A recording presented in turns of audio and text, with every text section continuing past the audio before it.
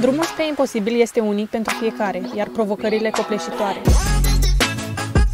Cu atât mai mult când ești într-o echipă. Drumul e greu, dar e mereu mai frumos să împărtășești experiențele și bucuriile cu altcineva.